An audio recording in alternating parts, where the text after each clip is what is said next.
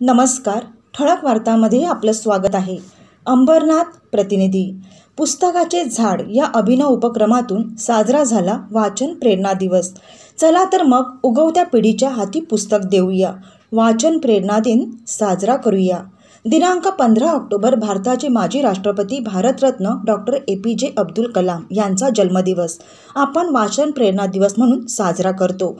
या वाचन प्रेरणा दिनानिमित्त पुस्तकाचं झाड ही आगळीवेगळी संकल्पना जिल्हा परिषद शाळा इंदगाव तालुका अंबरनाथ जिल्हा ठाणे येथे श्री अमोल राजेंद्र पेन्सलवार यांच्या संकल्पनेतून राबविण्यात आली. विशेष म्हणजे या पुस्तकाच्या झाडाभोवती विद्यार्थ्यांना गोलाकार अशी बैठक व्यवस्था करण्यात आली होती.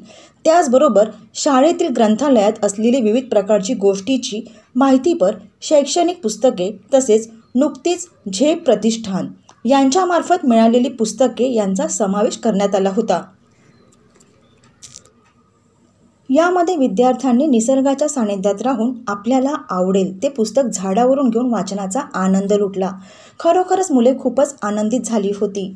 या अभिनव उपक्रमाबद्दल श्री अमोल राजेंद्र पेन्सलवार यांचे माननीय शिक्षणाधिकारी ठाणे डॉक्टर श्री भाऊसाहेब कारेकर माननीय डाएट प्राचार्य डॉक्टर श्री भरत पवार पंचायत समिती अंबरनाथचे गटविकास अधिकारी श्री नारायणसिंग परदेशी पंचायत समिती अंबरनाथचे गटशिक्षणाधिकारी श्री राजकुमार जतकर विस्तार अधिकारी श्रीमती रुचिता भंडारे मॅडम विस्तार अधिकारी श्री राठोड केंद्रप्रमुख श्री योगेश डेंगाणे मुख्याध्यापक श्री रमेश जाधव शाळा व्यवस्थापन समिती अध्यक्ष श्री हिरामन कडव उपाध्यक्ष श्री अविनाश कडव सर्व शाळा व्यवस्थापन समिती सदस्य ग्रामपंचायत सदस्य श्री जगदीश कडव ग्रामपंचायत सदस्य श्री निलेश कडव पोलीस पाटील श्री चंद्रकांत झांजे इतर ग्रामस्थ व पालक इंदगाव यांच्याकडून कौतुक करण्यात आले.